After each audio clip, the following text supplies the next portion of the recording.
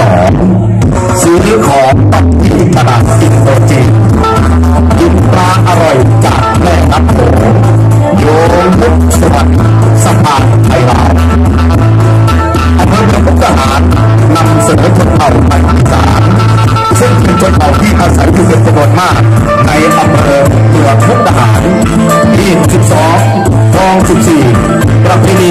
ษา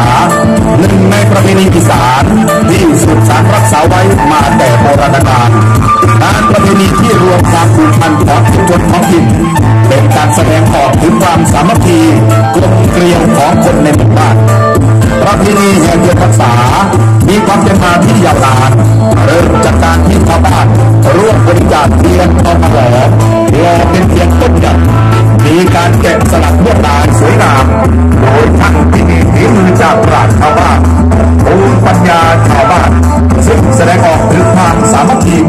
กลมเกลียวในหมู่คณะ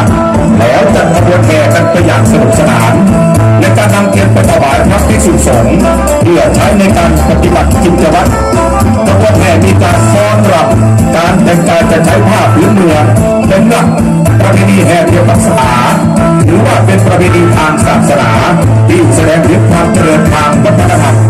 มีการปฏิบัติสืบทอดกันมาจนกลายเป็นประเพณีสืบ